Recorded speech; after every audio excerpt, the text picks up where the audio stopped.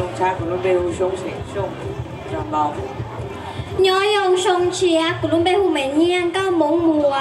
Tại ư ấn lên tuần đầu lông lên mấy hậu bà càng. Thọ còn nê phá chẳng khai ở lên theo trong tàu.